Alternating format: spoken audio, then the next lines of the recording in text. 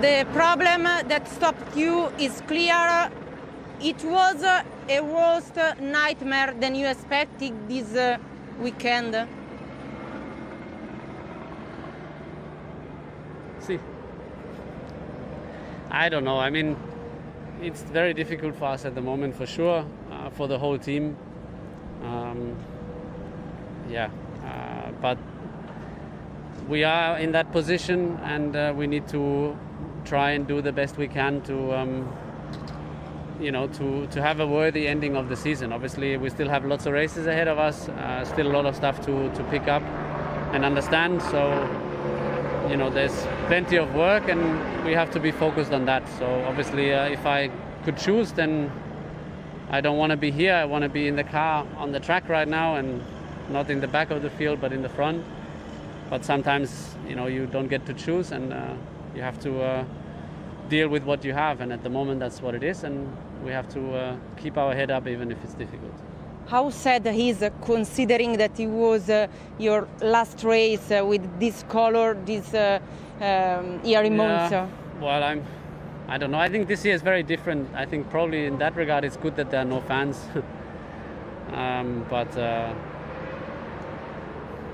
you know, life is like this, so it always depends from where you're looking. And uh, I think even if at the moment professionally there are not many good things, you know, uh, there are always some some positives. Um, so it's just a question on what you focus.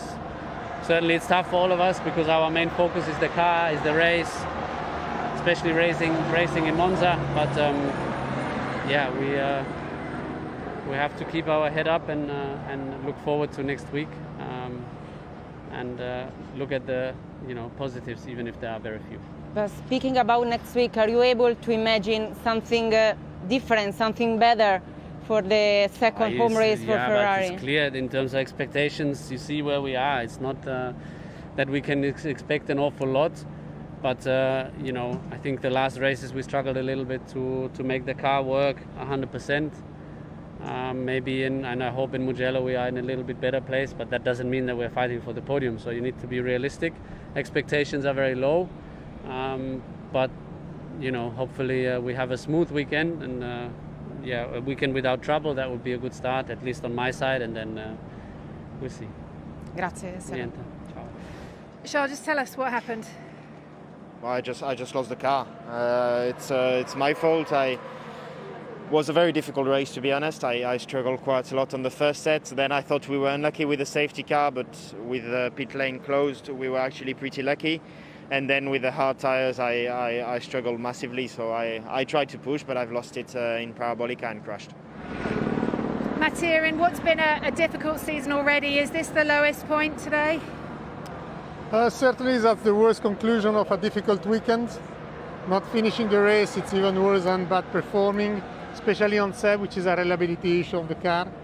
So I think it's uh, it's time really to look forward. I think all these problems is for us lesson learned, and uh, make sure that in the future uh, we are progressing and doing better. Is this particularly bad for this track? Do you see a way forward going to other circuits? Do you see any improvements at other circuits? But certainly, we know that Spa and Monza would have been difficult for us, so um, the, the, the worst one. Hopefully, the next one can be a bit better, but at the end, I think the performance of the current car is certainly not what we, we would like. And uh, um, but again, I think it's uh, more important for us to make sure that looking ahead and progressing with the car developments.